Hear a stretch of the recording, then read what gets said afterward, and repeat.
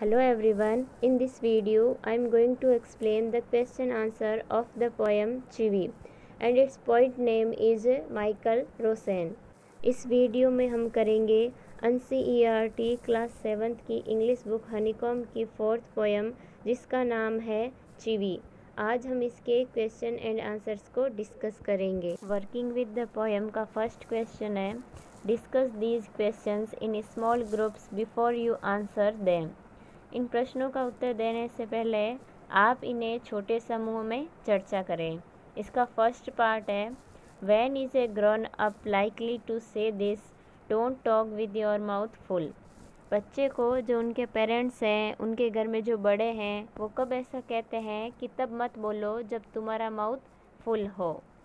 इसका आंसर है a grown up is likely to say this when children start talking in between the meal with food in their mouth ऐसा तब कहते हैं elders जब बच्चे के मुँह में खाना होता है और वो बोलते हैं, यानी खाना मुँह में होते हुए भी वो बातें करते हैं। तो बड़े लोग उनको बात करने से मना करते हैं और कहते हैं कि जब खाने से मुँह भरा हो तब बोलना नहीं चाहिए, बात नहीं करनी चाहिए। सेकंड पार्ट है when are you likely to be told this say thank you और कब ऐसा कहा जाता है कि तुम थैंक यू बोलो किसी को? यानी आपको संभवतः यह कब कहा जा सकता है कि धन्यवाद बोलो? हमने पोइम में पढ़ा था कि जब घर के बड़े लोग बच्चों को बताते हैं कि जब तुम्हें कोई गिफ्ट दे या तुम्हारी मदद करे तो उनको थैंक यू बोलना चाहिए।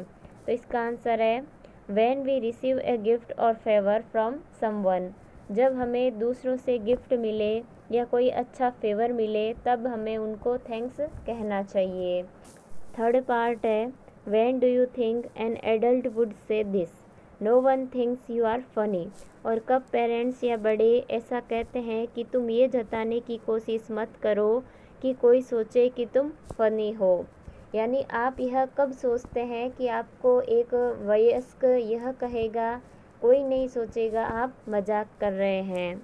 इसका आंसर है when we become too shy to speak और परफॉर्म बिफोर अदर्स जब हम इतना शाई फील करते हैं कि दूसरों के सामने बोल नहीं पाते, अपने आप को एक्सप्रेस नहीं कर पाते मतलब कुछ भी परफॉर्म नहीं कर पाते।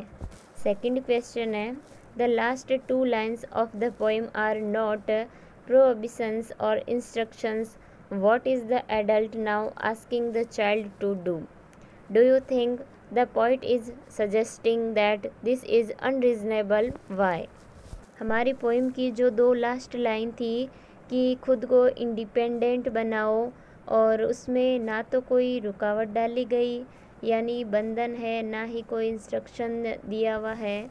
अब इस टाइम एडल्ट यानी जो बड़े लोग हैं, वो बच्चे को क्या करने के लिए कहते हैं? क्या तुम्हें लगता है कि जो ये पॉइंट है, वो ये सजेस्ट कर रहा है कि ये जो चीज़ें हैं, वो तर्क संगत नहीं है। यदि है तो ऐसा क्यों?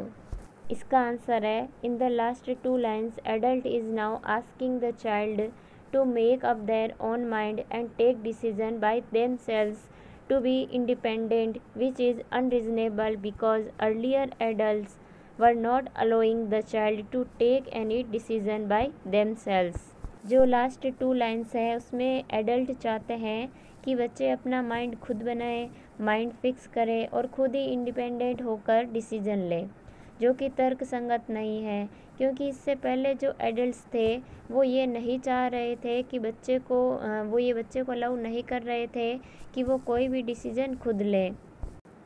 And they were always taking decision for the child but now they are asking them to take their own decision, which is surely unreasonable.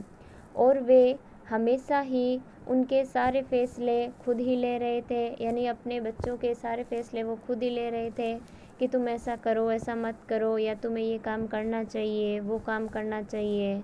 और कौन सा काम सही है या कौन सा काम गलत है? ये सारी बातें वे बच्चों को समझा रहे थे। लेकिन अब वे कह रहे हैं कि तुम्हें अपने डिसीज़न खुद लेने चाहिए, जो कि निश्चय ही एक तर्क संगत बात नहीं है।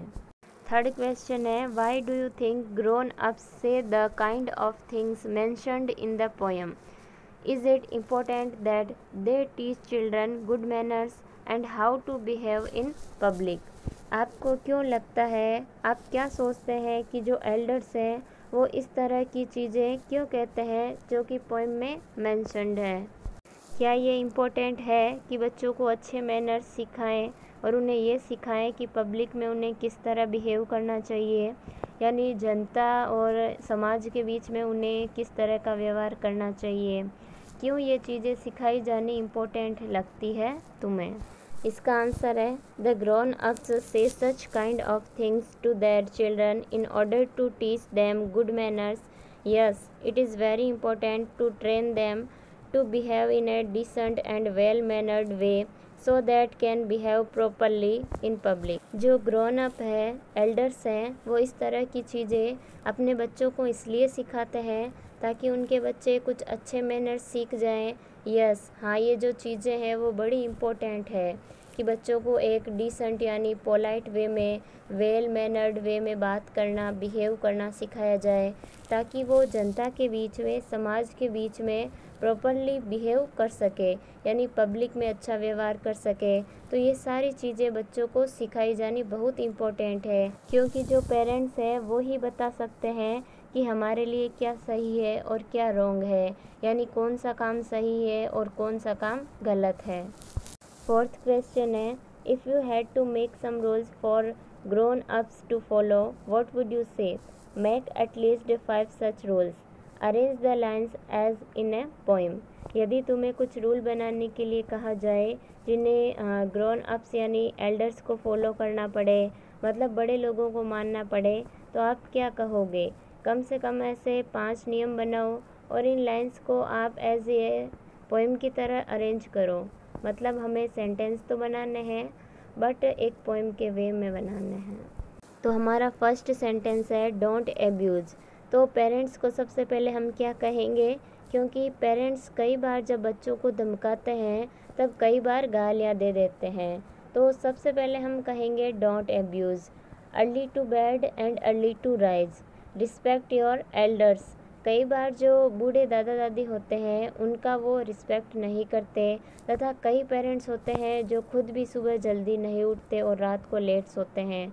तो ये रूल्स भी हम उनके लिए बनाएँगे। अगला रूल है नो फ़िज़िकल पनिशमेंट्स बच्चों को बोलते ही पेरेंट्स पनिशमेंट देते हैं।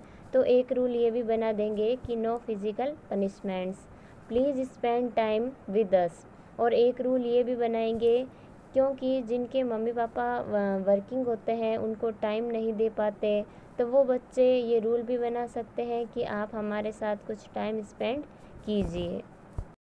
ये वर्ड मीनिंग आपको होमवर्क में करने हैं तथा सारे प्रश्नों को क्लास वर्क में करना है।